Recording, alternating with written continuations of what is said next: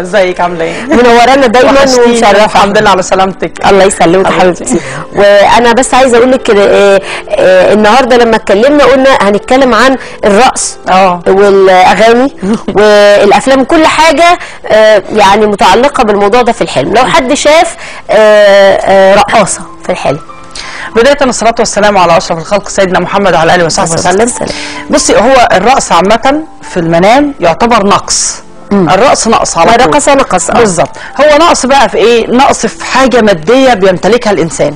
مم. يعني في حاجة هتنقص عنده. ممكن يكون آه، لا قدر الله حاجة يعني بني آدم. أو- أو- آه صحته. المهم هو في نقص في حياته هتحصل. تمام. تمام؟ وبرده بيحصل قص.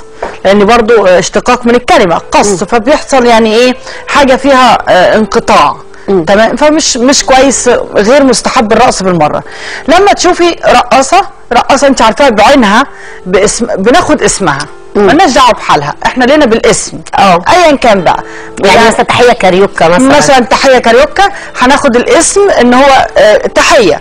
فده معناه إن في سلام داخل عليكي وفي حاجة هتدخل عليك السرور والسعادة والفرحة. سامية. وكمان هي هي وهي كمان أصلا يعني آه، جاية من ال- ال- الفرح يعني إيه الرقص وكده فيها فرح. آه. حالها فيها فرح. في ده الناس بتقول لك دايما إنه اللي يشوف آه، آه، رقص في الحلم يبقى عزا أو لو هو اللي رقص لو هو اللي رقص غير مستحب بالمرة. لكن إن أنت تشوفي حد بيرقص فده معناه ايا كان بقى الشخص اللي قدامك. زي ما قلت لك لو واحدة مشهورة يبقى بناخد اسمها. تمام؟ لو واحدة مش مش عارفاها فبيحصل نقص لأي شخص معاكي في الرؤية شفتيه بعينه. آه لو حد بيرقص معاها. لكن انت ما انت بتتفرجي بس. هتبقي هتبقي بس شاهدة على الموقف. آه. لكن ما يخصكيش. ولو حد بيرقص هو في الحلم. لا.